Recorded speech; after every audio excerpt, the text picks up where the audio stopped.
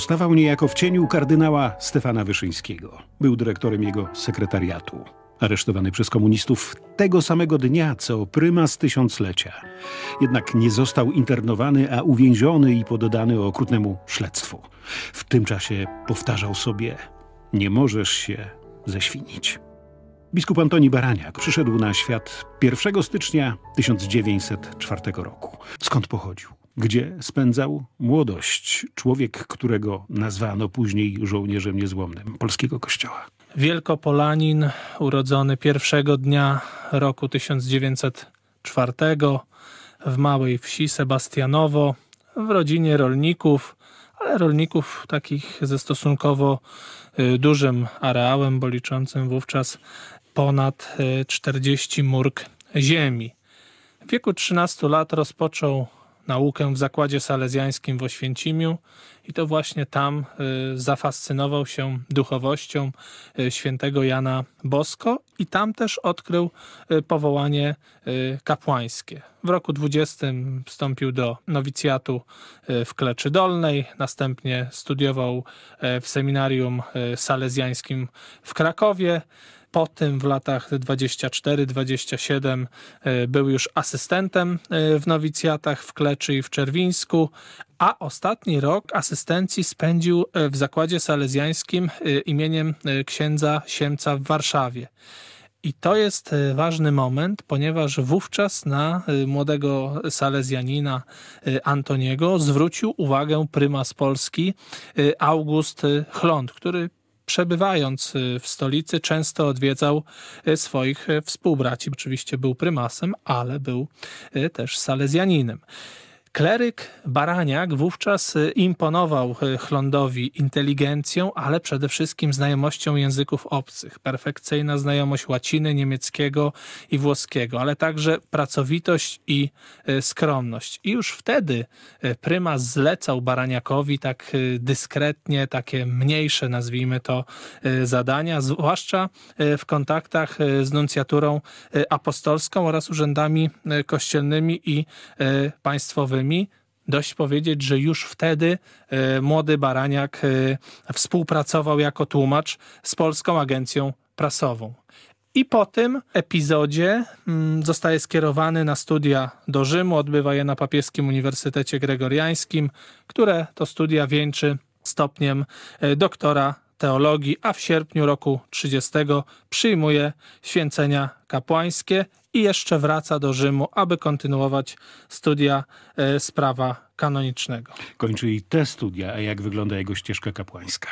Po ukończeniu e, tych e, studiów i jeszcze odbyciu praktyk w rocie rzymskiej, Baraniak 1 września 1933 roku obejmuje stanowisko sekretarza prymasa Polski, kardynała Augusta Chlonda.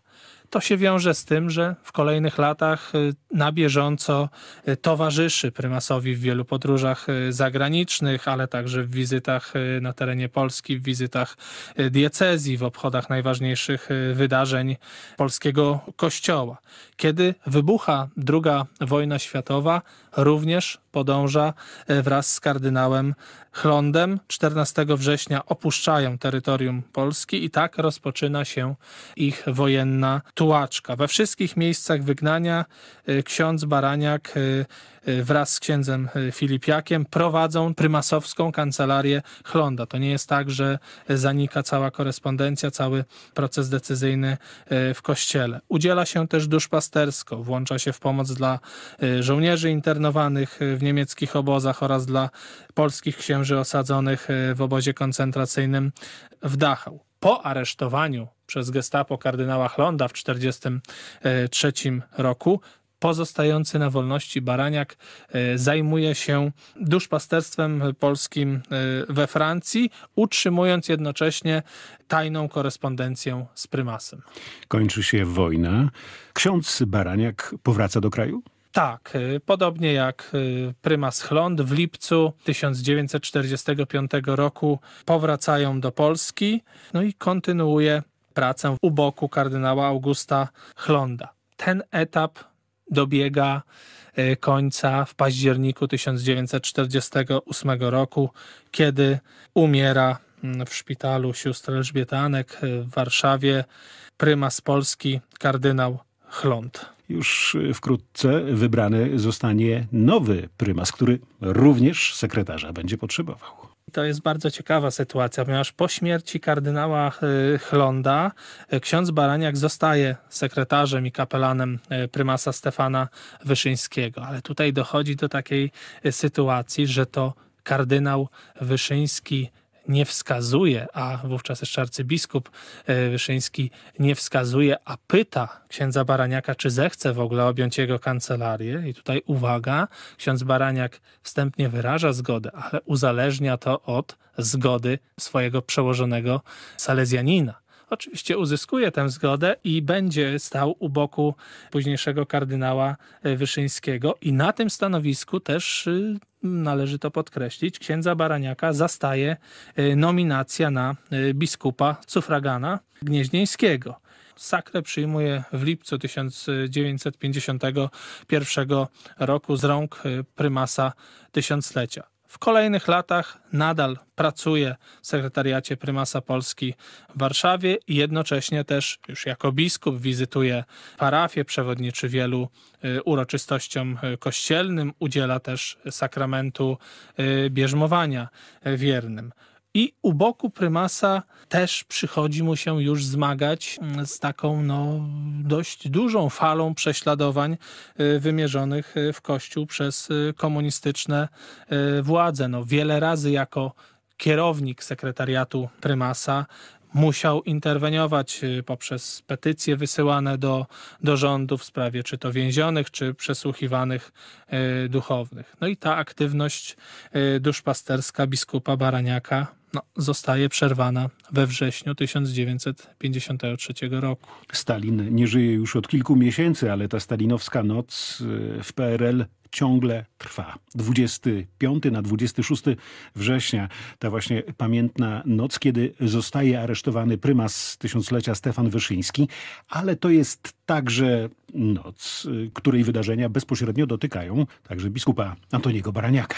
Tak, 25 września roku 53 niewątpliwie ważna data dla Kościoła katolickiego w Polskiej Rzeczypospolitej Ludowej. Wówczas to y, wieczorem do Pałacu Arcybiskupiego przy ulicy Miodowej w Warszawie dobijają się funkcjonariusze UB twierdząc, że przynieśli pismo do biskupa Baraniaka od ministra Antoniego Bidy, ówczesnego dyrektora Urzędu do Spraw Wyznań. Niebawem wdzierają się do pałacu arcybiskupów i przedstawiają prymasowi nakaz opuszczenia miasta oraz nakazują mu się spakować. Następnie ci sami funkcjonariusze wyprowadzają biskupa Baraniaka do innego pokoju, pozostawiając kardynała Wyszyńskiego samego. To jest ciekawe, bo ani prymas, ani biskup Baraniak y, nie przypuszczali wówczas, że od tego momentu y, no, zostają rozdzieleni tak naprawdę na kilka lat. Ale kardynał Wyszyński dopiero będąc uwięzionym w Komańczy, czyli w ostatnim y, z miejsc odosobnienia, dowiedział się w ogóle o aresztowaniu jego współpracownika. Po prostu on wręcz powierzył mu y, dalej pracę i wykonywanie obowiązków, w ogóle nie dopuszczając myśli, że y, Baraniak też będzie aresztowany. No tutaj z Baraniakiem też jest taka e, kwestia, że początkowo jeszcze rozważano, gdzie go e, w ogóle e, umieścić, do którego mm, więzienia go przewieźć. No i wreszcie zapada decyzja, aby trafił do więzienia przy ulicy Rakowieckiej na Mokotowie w Warszawie. Wówczas było to więzienie, które owiane było złą sławą i mogło wzbudzać y, przerażenie każdego, kto był mm, w tych y, latach tam przetrzymywany. No, było to tak naprawdę do roku 56 centralne więzienie dla y, więźniów politycznych. Więzienie, w którym również wykonywano wyroki śmierci. Wykonano je na wielu żołnierzach wyklętych, niezłomnych. Miano takiego żołnierza dostanie także biskup Baraniak. Zwróćmy uwagę na to, że jeśli wydarzenia, które miały za chwilę dotknąć prymasa tysiąclecia, były dla niego naprawdę traumatycznym czasem, To wyobraźmy sobie, co przeżywał biskup Baraniak, który nie został internowany tak jak prymas, a dosłownie uwięziony. Jeśli prymas Wyszyński przechodził tortury psychiczne przede wszystkim, to biskup Baraniak doświadczał ich bezpośrednio w czasie przesłuchań. Nie zachowało się tak naprawdę wiele świadectw dotyczących tortur, jakim był y, poddawany biskup Baraniak. Niemniej jednak trzeba powiedzieć, że całą paletę tortur odbył e, w latach 1953-1956, kiedy to przebywał na Rakowieckiej. Zarówno tortury psychiczne, nocne przesłuchania, niekiedy kilkugodzinne, głodzenie. E, są też ślady pobić, ślady tortur e, Blizny fizycznych. na plecach nosił do końca życia. Tak. Stwierdzili to lekarze, którzy mieli okazję badać go już później pod koniec życia w szpitalu, w którym umierał. Tak, i te blizny y, pozostały właśnie 20-30 lat po tej y, sytuacji. Któryś tak? z lekarzy miał ocenić, że mogły być na przykład zadane żelaznym prętem. Ale y, także tak perfidna tortura jak mokry karcer, przebywanie nago w wilgotnym, zimnym pomieszczeniu. Bywało również, że było to pomieszczenie wypełnione fekaliami. No, nie ma na to dokumentów, są natomiast relacje. Tak, są relacje, chociaż y, biskup Baraniak y, był dość powściągliwy i sporadycznie wracał do swojego okresu więzienia na Rakowieckiej. Niemniej jednak te szczątkowe relacje y, wskazują na y, liczne tortury. A zaznaczmy, dlaczego to wszystko. To on miał przecież być głównym y, świadkiem w procesie, który przygotowywano przeciw prymasowi Wyszyńskiemu. Tak, i to jest klucz tak naprawdę do uwięzienia, do zrozumienia uwięzienia biskupa Baraniaka, ponieważ tak jak w innych krajach bloku sowieckiego, prymasowi Wyszyńskiemu miano wytoczyć proces, a głównym właśnie dostarczycielem fikcyjnych dowodów miał być biskup Baraniak. Jednak biskup Baraniak nie ugiął się i tak naprawdę nie powiedział żadnych kluczowych e, rzeczy na temat e, Kościoła katolickiego, na temat e, kwestii, które mogłyby oczernić w jakikolwiek sposób e, kardynała Wyszyńskiego. Powtarzał sobie, że nie można się po prostu e, ześwinić i to wszystko przetrwał. Takie procesy, jakie próbowano wytoczyć y, kardynałowi Wyszyńskiemu, powiodły się na przykład na Węgrzech, w Czechach. Chorwacja jest również tego przykładem, gdzie oskarżając na przykład o współpracę z hitlerowcami lub działanie na niekorzyść narodu ówczesnych tamtejszych hierarchów, powodowano to, że stopień ateizacji tych krajów jest do dziś zauważalny. Jeśli odcina się głowę, to cóż, no, tułów zaczyna gnić. Wiele krajów e, te procesy hierarchów stojących na czele e, kościoła odbyło. Niemniej jednak w Polsce to się nie udało. Gdyby nie taka postawa biskupa Baraniaka, wiele wskazuje na to, że proces kardynałowi Wyszyńskiemu by wytoczono.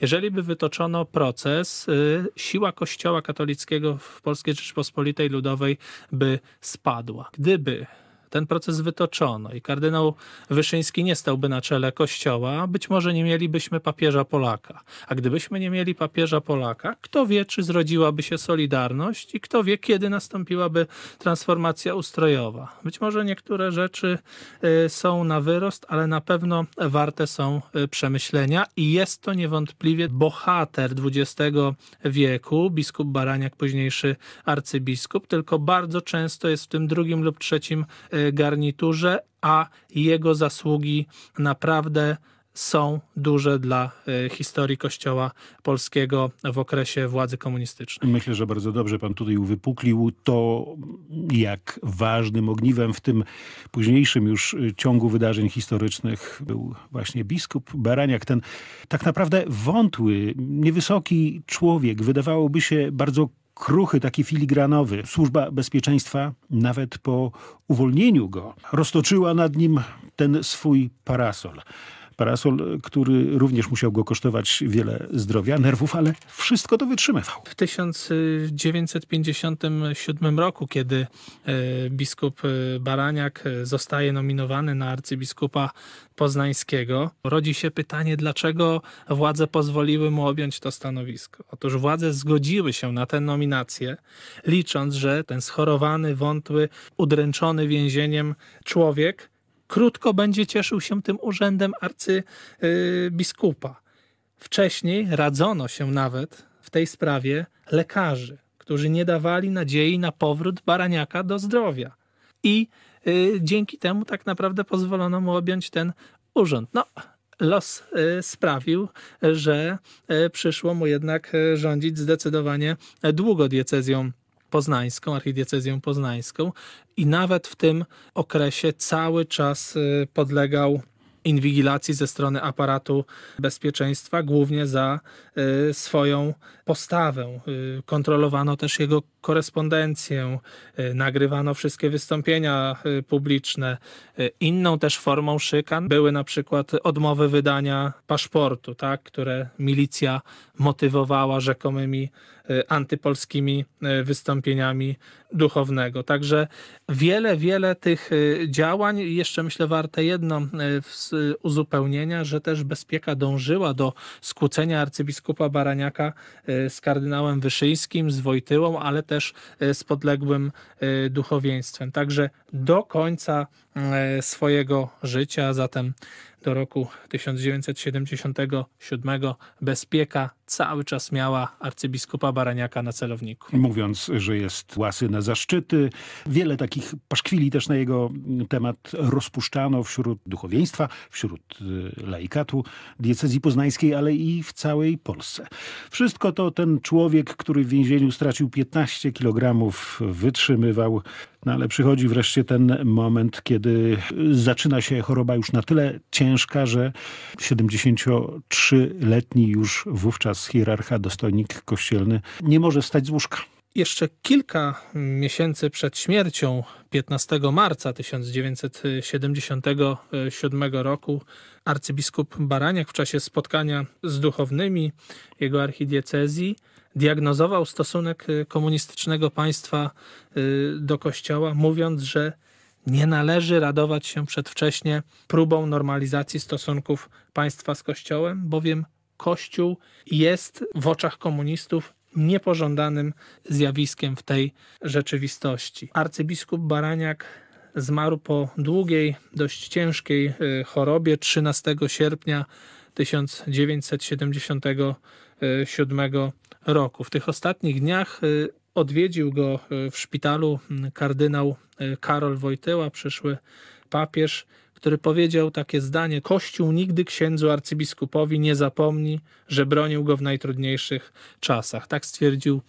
wówczas przyszły papież, i myślę, że historycy Kościoła, ale też osoby zainteresowane tą tematyką podpiszą się niewątpliwie pod tym zdaniem. Istotnym wydarzeniem dla polskiego kościoła był również pogrzeb arcybiskupa Baraniaka. Kardynał Stefan Wyszyński, który przeżył swojego sekretarza, wprawdzie niedługo, ale o niemal cztery lata Mówił w przemówieniu żałobnym, że uwięziony biskup Baraniak był dla niego niejako osłoną. Dlaczego tak powiedział? Ponieważ to właśnie na arcybiskupa Baraniaka y, spadły główne oskarżenia i y, zarzuty y, w sytuacji, kiedy kardynał Wyszyński przebywał w stosunkowo znośnych warunkach, nie był poddawany torturom, także odium największych represji w latach 53-56 spadło na Baraniaka. No i za to musiał być i